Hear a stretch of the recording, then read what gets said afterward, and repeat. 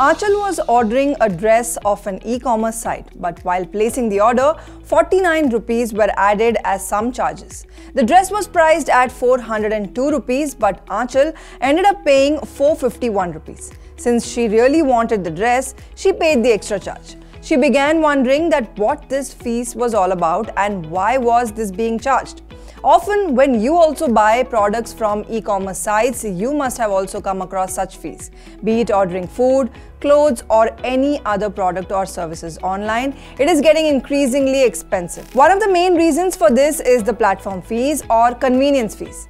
Food aggregators like Swiggy, Zomato, fashion e-commerce sites like Ajio, Myntra and quick commerce apps like Blinkit and Swiggy Instamart are charging platform fees, convenience fees or handling fees.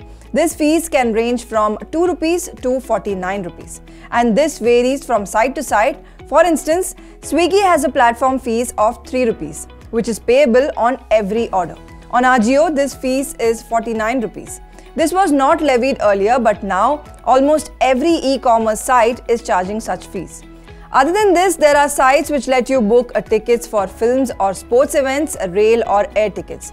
Even they are also charging convenience, internet handling and service fees from individuals. Now let's understand what does platform fee mean. Platform fees, convenience fees, Fulfillment fees or handling charges is essentially the charge levied for using a service. This has now become a norm.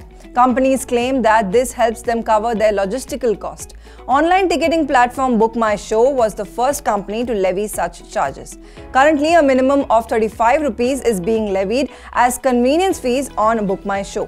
While this fees differs from platform to platform, the objective remains the same and that is to make every order more profitable and increase the company's overall revenue.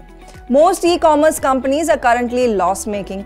This fees can also prove useful in limiting their losses because even though the fees may look nominal, it is at least 0.5 to 1% of the company's AOV or average order value. Industry experts note that the additional fees is now being levied as the e-commerce sector is maturing and people now understand the importance of ease of shopping from home. Had this fees been levied four years ago, it would have impacted the company's overall business. But now that people are increasingly shopping online, ordering products and services, they are also willing to pay this fees.